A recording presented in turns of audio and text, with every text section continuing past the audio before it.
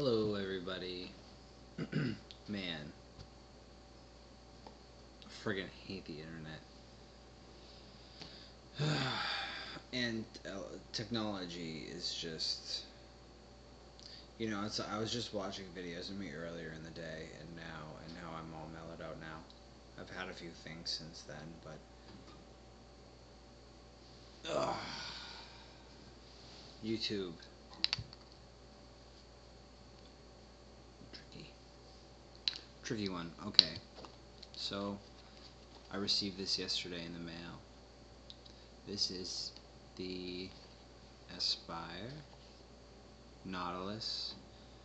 Um, I've seen Aspire life changing is their thing, and I will say this: their tank is pretty good.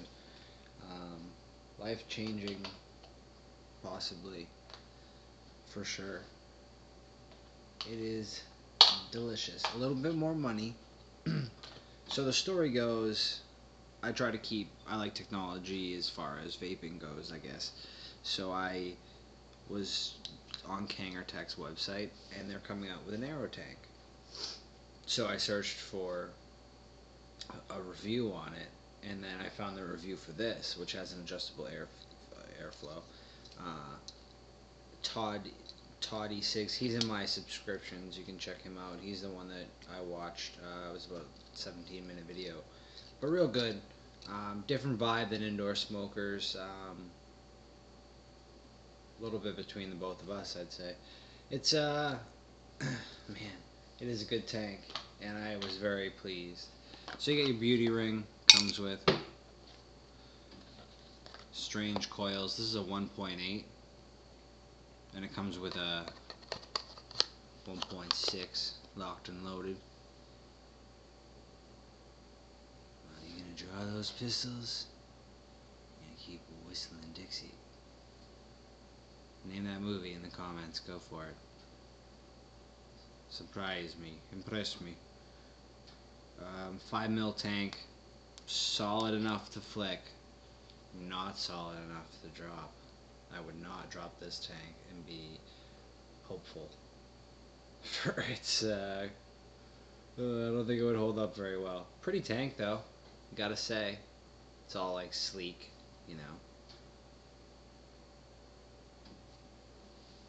Pink, drip tip, big hole. Uh, I gotta learn the numbers of, of five ten. No, not five ten, but it should should fit most. It doesn't really fit my orange one very well. I don't know. I've had different luck with drip tips and compatibility. So, my favorite. I just hate wasting juice when I have to switch my coil. It's like, it gives me friggin' anxiety sitting there with my Unitank. And I'm like, oh man, I hope I hope this coil lasts this juice. I only got a little bit of, you know, pink spot gummy bear left. I gotta. Oh, and then the coil dies, and I just filled it. So I gotta, like, monitor my own shit. Hmm. I guess if you were gonna use the puff counter for anything, you could probably monitor your puffs and tanks and I don't know. So, someone probably did it. You should do it and then post a video and I'll subscribe to it. Yeah, you do the work. Yeah, that's better. You. Yeah, you. Do it. I did. And then I'll like you, and then you'll get my subscribers. It's like a pyramid scheme. Kinda. You know, like one of those things. I used to work for door to door sales. I'm to just start taking this apart while I talk. Uh, there's airflow ring here, which I showed you in my preview video. That was kind of sound and video weren't syncing up very well. Uh, apologize for that. So the bottom just unscrews here. Uh, there it is. Um, and I forgot what I was talking about anyways, so.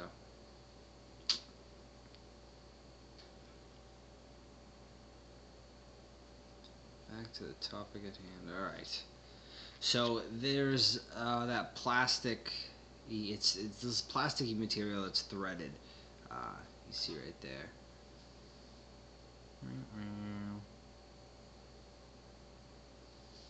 Frickin' real snug, which I like. No leaks. Um, someone commented before, no leaks on his end either. Um,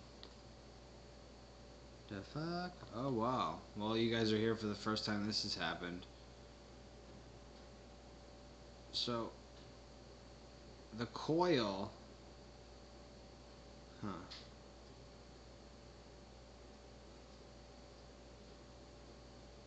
Looks like the coil screws into the bottom. Every time I've done it, the coils come out. Hold on. The fuck's going on here? Strange. Well, we're learning it together.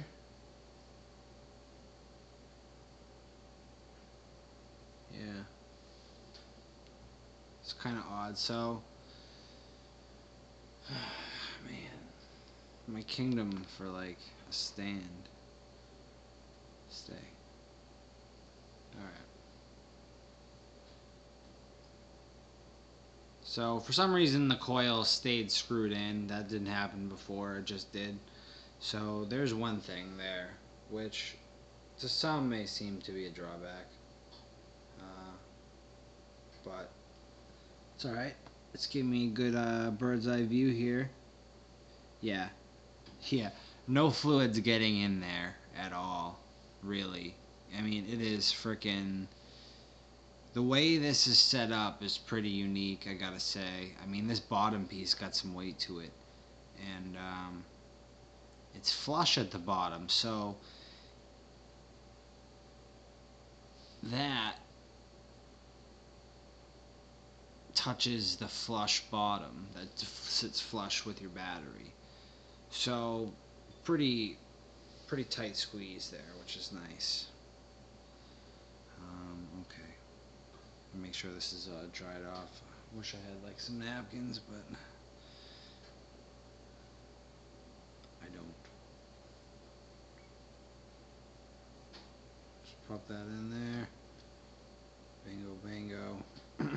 Screw the coil back in to the bottom piece.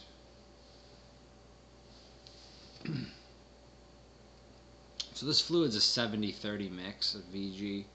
It's from Juicy Juice. It's called Dream. It's uh, very delicious.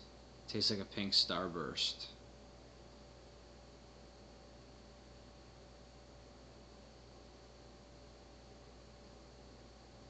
This top piece comes off too. So you can get the whole tank to yourself. Uh, I wouldn't recommend taking it off though.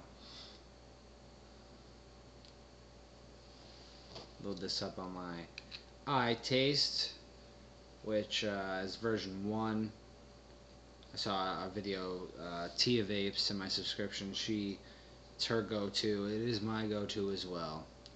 Uh, man, I've thought about other ones of variable voltage and stuff, and I really just can't convince myself yet because this is so good, so new to me, even version one. So we're gonna start out at about 3.5, and this is with a 1.6 coil, and this is going to be at the just to make sure. So counterclockwise, the dots are going to get bigger. So we're going to start at the smallest one, and it does click into place.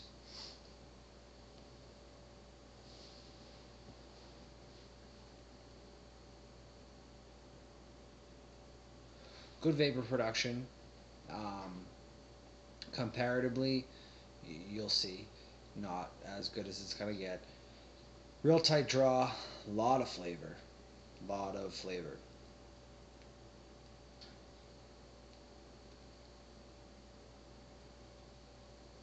Pretty good. Now, I gotta say, best way to compare this to anything else is it's like having four tanks on this one tank. You just turn it and boom, you got a new draw, you got new airflow going in there, so it resembles a tank that you might have vaped out of before. The tight draw one, uh, nothing comes to mind yet. that I've done it out of, like that. So we'll, we'll go one up here.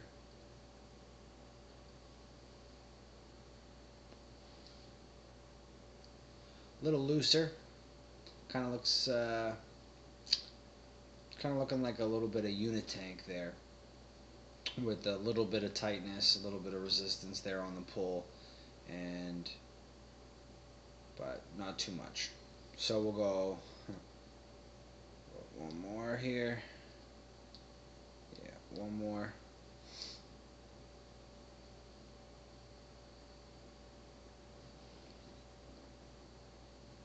Yeah, that seems to be the sweet spot, I gotta say. That is pretty good. Take one more for you.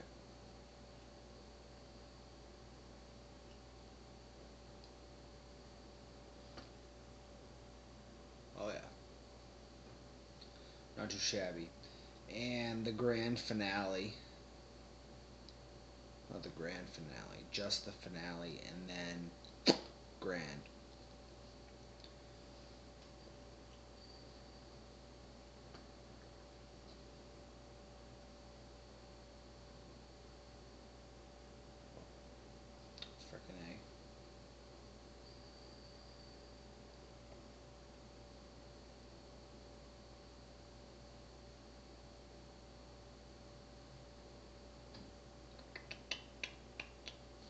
Nice. Okay. So we'll do this. Crank it up. 3.9 on a 1.6. Hmm. Can only do it a couple times. And lots of airflow. For sure.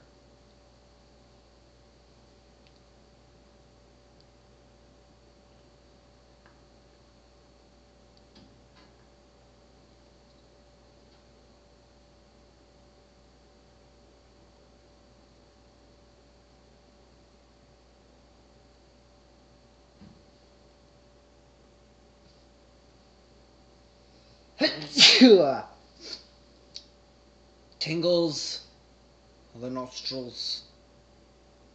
Delicious though. I wouldn't trade it for anything. Well, there's not much more I can really say about it.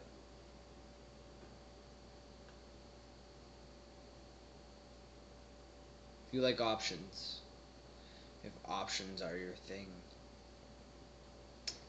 I'd say this is for you. Pretty simple too. Like I, I don't want to even say like a beginner would have any trouble. Like it might be a little bit ooh,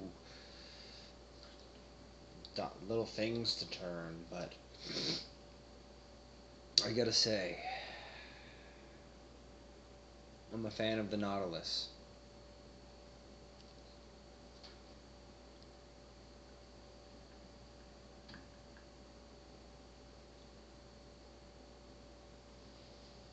The naughty Nautilus.